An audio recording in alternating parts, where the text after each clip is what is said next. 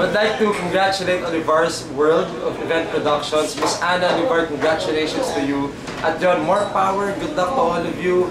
At yun, uh, God bless all of you always.